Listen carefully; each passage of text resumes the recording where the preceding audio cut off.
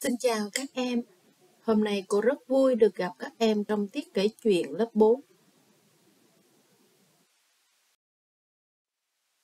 Để bắt đầu bài học ngày hôm nay, cô có những lưu ý như sau. Thứ nhất, các em chọn không gian yên tĩnh để ngồi học. Thứ hai, chuẩn bị sách giáo khoa và đồ dùng học tập cần thiết. Thứ ba, hãy tập trung nghe giảng, thực hiện các nhiệm vụ của bài học và cuối cùng, các em nhớ bấm nút tạm dừng khi cần nghe lại một nội dung nào đó nhé. Bây giờ các em đã sẵn sàng chưa nào? Chúng ta bắt đầu vào bài học nhé. Các em biết đây là ai không? À, đây là Jack London, một nhà văn nổi tiếng người Mỹ. Ông có rất nhiều tác phẩm hay và một số tác phẩm được dịch sang tiếng Việt và đặc biệt tác phẩm Tiếng gọi nơi hoang dã còn được chuyển thể thành phim nữa đó các em. Trong tiết kể chuyện ngày hôm nay, cô sẽ giới thiệu cho các em một trích đoạn trong truyện Khát vọng sống rất nổi tiếng của nhà văn Jack London.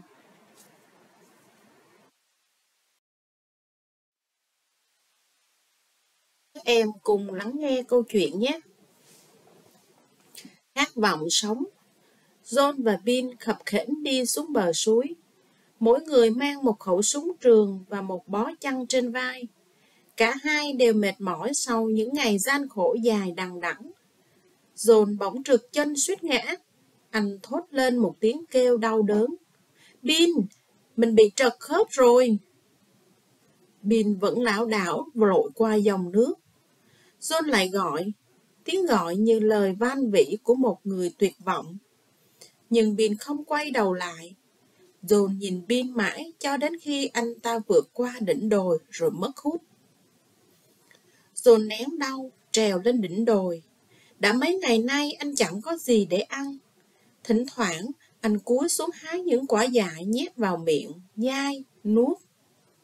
Đêm đến, khi không lê bước nổi nữa, anh mới dừng lại để ngủ. Một sáng, khi cái đói cào xé ruột gan khiến đầu óc anh mụ mẫm, tình cờ anh bò gần một con chim đang ngủ quên.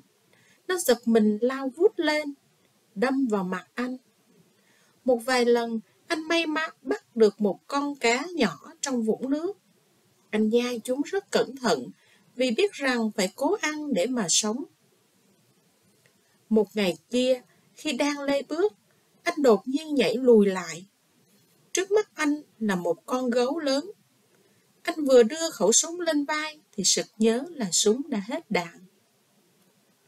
Anh hạ súng, rút con dao, mắt chầm chầm nhìn con vật.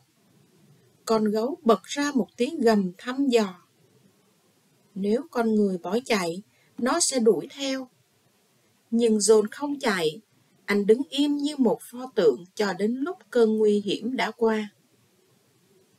Vào một ngày, John nằm bất động trên một mỏm đá, chậm rãi đưa mắt nhìn theo dòng sông đang uốn khúc đổ ra một vùng biển rực rỡ nắng vàng. Anh chợt thấy một con tàu đang buông neo. Đúng lúc đó, có tiếng thở phì phò phía sau. Anh nhận ra cái đầu của một con sói.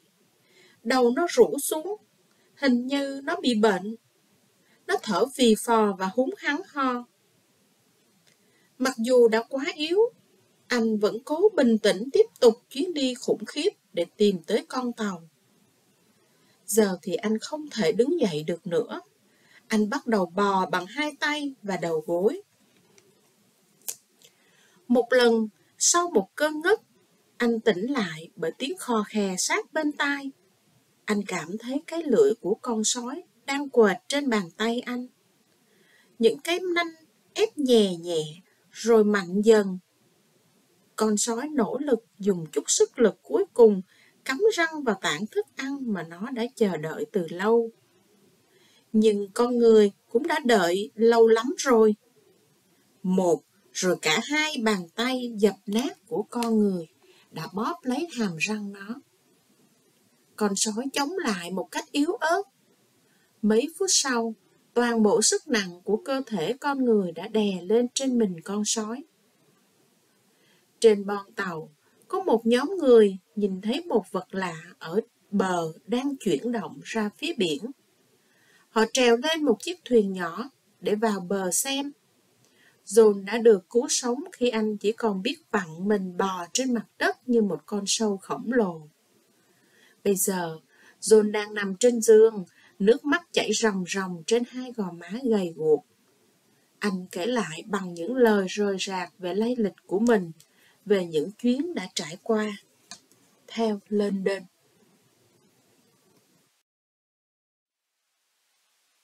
Bây giờ các em hãy dựa vào các tranh minh họa dưới đây. Hãy kể lại từng đoạn câu chuyện nhé. Bây giờ chúng ta vào bức tranh thứ nhất, đoạn 1 của câu chuyện. Cả John và Bin đều mệt mỏi lê bước đi đâu. John trượt chân ngã, thốt lên tiếng kêu thế nào. Và lúc đó, Bin đã làm gì? Bây giờ các em hãy bấm dừng video và kể lại đoạn 1 của câu chuyện nhé.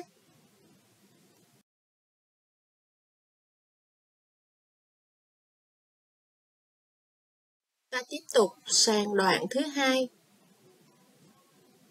John nén đau trèo đi đâu? Dọc đường đi, John đã ăn gì để chống lại cái đói đang cao xé ruột anh? Các em tiếp tục kể đoạn thứ hai nhé.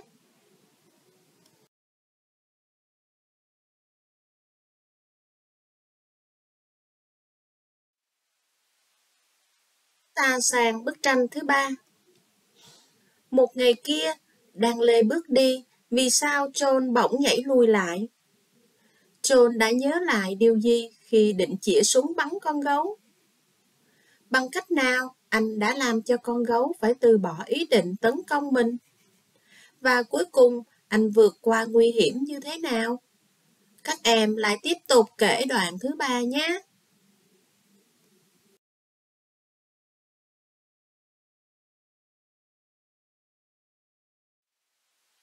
Chúng ta sang bức tranh thứ tư.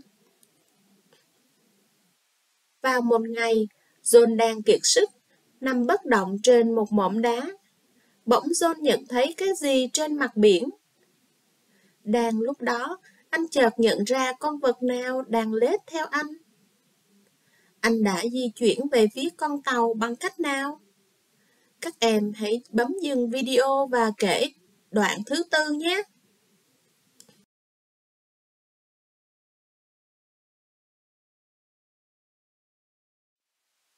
Bức tranh thứ năm Sau cơn ngất, dồn tỉnh lại bởi âm thanh gì? Con sói định làm gì anh? Anh đã làm gì để chiến thắng con vật tội nghiệp đó? Các em cùng kể đoạn thứ năm nha.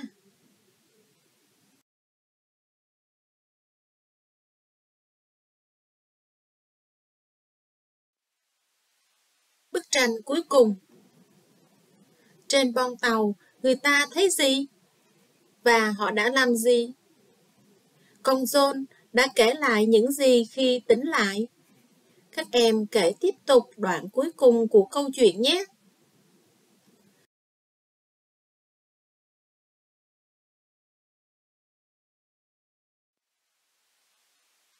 Chúng ta sang phần thứ ba, trao đổi về ý nghĩa câu chuyện. Sau khi các em được nghe cô kể câu chuyện, rồi tự mình kể lại câu chuyện nữa, thế thì các em thấy với khát vọng sống mãnh liệt, John đã vượt qua những khó khăn gì? À, với khát vọng sống mãnh liệt, John đã vượt qua được kẻ thù, sự đói khát và thú dữ. Như vậy, câu chuyện này muốn nói với em điều gì nào?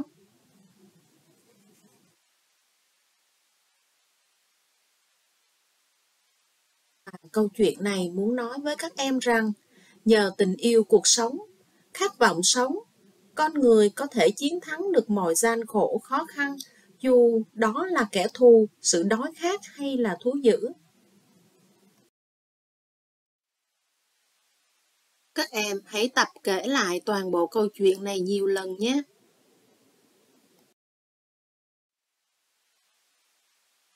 Như vậy, các em học được điều gì sau khi đọc câu chuyện này? Các em thử suy nghĩ nhé.